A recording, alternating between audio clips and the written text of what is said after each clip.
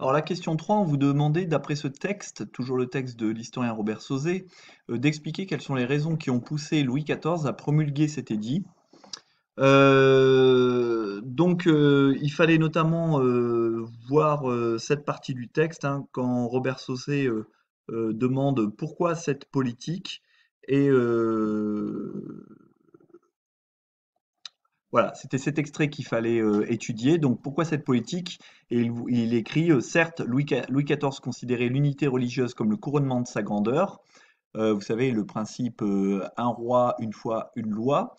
mais il ne faut pas oublier aussi qu'il était soumis aux sollicitations des dévots. Alors ce qu'on appelle les dévots, c'est les catholiques les plus fervents. Hein. C'est un parti en quelque sorte de catholiques extrêmement fervents et qui refusent en fait la tolérance religieuse et l'existence même d'autres mouvance religieuse que le catholicisme. Et, l'historien précise qu'il ne faut pas oublier que euh, l'Église catholique reste très largement majoritaire dans le pays et que chaque fois qu'il y a des assemblées euh, tous les cinq ans qui réunissent par exemple les évêques de France, eh bien, ou, les, grands, les grands dirigeants de l'Église catholique en France, eh bien, des, protestations officielles ont lieu contre la liberté de conscience, contre la tolérance religieuse. Et donc le roi, euh, même s'il gouverne en monarque absolu, ne reste pas totalement insensible à ces pressions, à ces sollicitations, ce qui explique pourquoi il est revenu sur l'édit de Nantes. Alors la, question 4, on vous demandait de montrer que l'État ne respecte pas vraiment l'édit de Nantes en pratiquant les dragonnades, du moins, qu'il ne respecte plus vraiment l'édit de Nantes. Euh, l'édit de Nantes avait toujours euh, cours, mais on voit que les comportements étaient déjà euh, en opposition avec cet édit de tolérance, et on le voit à travers ce document que vous aviez étudié. Donc, euh, qu'est-ce qu'une dragonnade Vous aviez l'explication euh, en, dessous du titre. C'est une technique de conversion forcée et utilisée dans les régions protestantes de 1681 à 1685, donc quatre ans avant l'édit de Fontainebleau. Et les soldats qui sont des dragons, hein, c'est pas un surnom qu'on leur donne, on les appelle des dragons, ils sont logés chez des hérétiques. Alors les hérétiques, donc des protestants, et ils sont chargés d'utiliser tous les moyens pour rater leur conversion au catholicisme.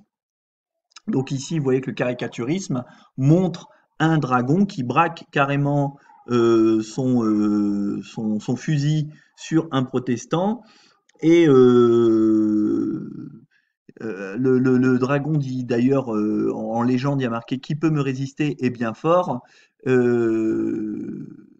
donc, vous voyez bien que l'hérétique n'a pas vraiment le choix et qu'il est obligé de signer son acte de conversion. alors, il existe plein de moyens d'amener quelqu'un à se convertir, mais ce qui était intéressant, c'est que dans les dragonnades, euh, c'était les hérétiques qui étaient chargés d'accueillir les soldats chez eux. Alors une fois qu'ils les accueillaient chez eux, eh bien les soldats se comportaient euh, pas toujours de façon correcte, même loin de là, et euh, c'était une forme de pression que subissaient les protestants. Et s'ils se convertissaient, eh bien ils n'avaient plus à accueillir de soldats chez eux. Donc euh, c'était un moyen finalement euh, de contraindre les protestants à abandonner, à abjurer leur religion et à se convertir au catholicisme. Et vous voyez d'ailleurs que le catholicisme est présent, puisque au bout du canon du fusil, qu'est-ce qu'on voit? Un crucifix qui est braqué sur le protestant, c'est-à-dire adorer la croix, adorer le catholicisme et signer votre acte de conversion, votre acte d'abjuration, c'est-à-dire j'abandonne ma religion pour en prendre une autre.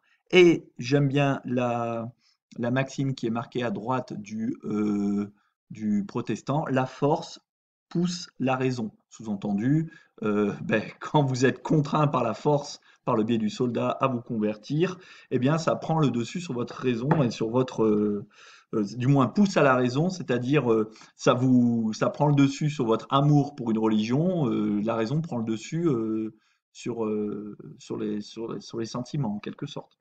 Donc, on n'a plus vraiment le choix.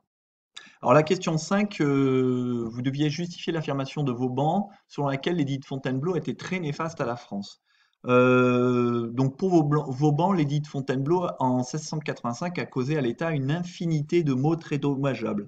Donc pour cela, il fallait utiliser ce document. Vous m'excuserez, il n'était pas très bien passé euh, à la photographie. Hein. J'avais fait ça pendant l'été. Et donc Vauban liste fait plusieurs articles. Hein, euh, ce célèbre ingénieur militaire dont on a parlé dans le chapitre précédent, hein, l'auteur de la ceinture de fer et d'une de 150 fortifications renforcées selon son architecture novatrice pour résister aux tentatives d'invasion du royaume. Et donc, bah, il dénonce point par point les, méfaits, entre guillemets, de Stélie de, de Fontainebleau, notamment pour les finances royales. Donc, je vous les ai listés dans la correction. Hein. Donc, lui, contrairement à Robert Saucé, à l'époque, il parlait d'un départ de 80 à 100 000 personnes. Vous voyez que l'historien tout à l'heure disait plutôt 200, 250 000. Mais Vauban estime qu'à peu près 30 millions de livres, livres, ce ne sont pas des livres à lire, hein, c'est la monnaie de l'époque, hein. donc c'est une somme faramineuse, hein, c'est plusieurs centaines de millions, voire des milliards d'euros qui seraient partis du royaume. Il pense aussi que ça, entraîne l'affaiblissement des arts et des manufactures qui attiraient de toutes les contrées d'Europe beaucoup d'argent. Rappelez-vous le mercantilisme développé par Colbert. Euh, d'une part, on avait vu que le roi de France attirait des ouvriers euh, et des artisans les plus qualifiés d'Europe, quelle que soit leur religion d'ailleurs. On avait vu l'exemple de Van Robé qui, avait une lettre de privilège. Mais aussi, la France voulait vendre ses produits manufacturés aux royaumes voisins.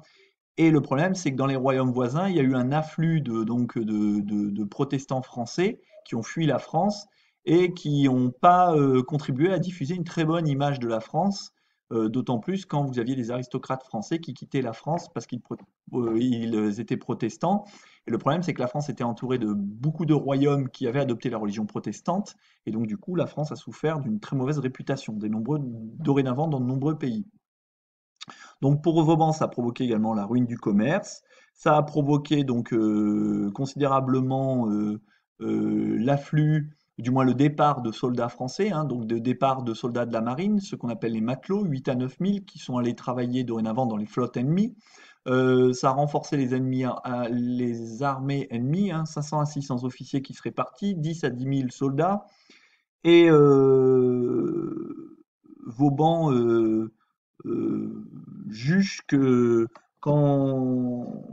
les conversions ont été très peu nombreuses euh, notamment dans la fin de son texte, à la dernière ligne, quand il dit euh, beaucoup plus. Euh, non, pardon, ici, à l'égard des restes dans le royaume, on ne saurait dire s'il y, y, en a eu un seul de véritablement converti. Donc Vauban doute fortement qu'il y ait eu beaucoup de, protestants qui soient convertis au catholicisme. Hein. La plupart ont préféré fuir parce que ben, pour les gens, c'est très difficile de leur demander d'abandonner leur religion. Donc pour lui, c'est un peu une erreur politique en fait qu'aurait fait le roi Louis XIV. Alors beaucoup d'historiens depuis ont débattu dessus pour voir euh, si les chiffres n'étaient pas exagérés, etc. Ce qu'avait tendance à dire l'historien Sauzet tout à l'heure.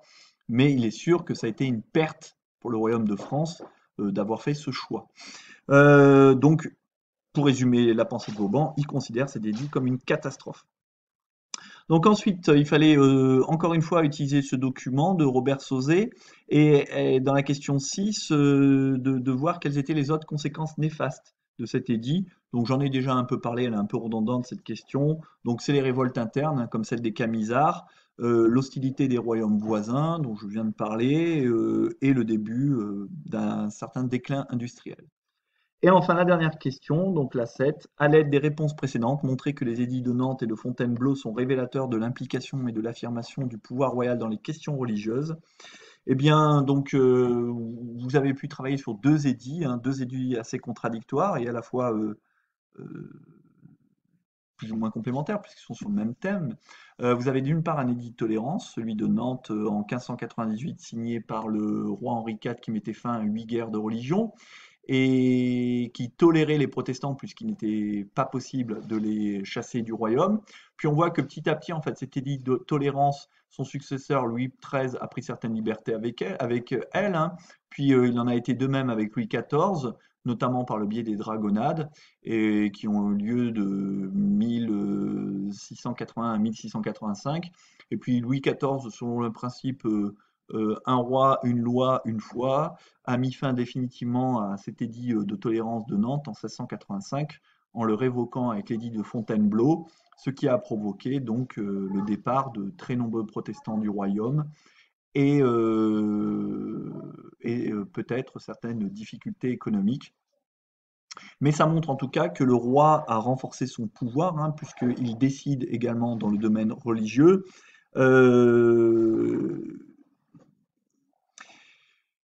Et, euh, et il supporte de moins en moins cette liberté religieuse, et c'est pour ça qu'il va prendre justement euh, la décision de révoquer cet édit, afin de montrer que c'est lui qui, même en matière de religion, décide et que puisqu'il est catholique, eh bien, tous les sujets de son royaume se doivent d'être catholiques, qu'importent finalement les conséquences.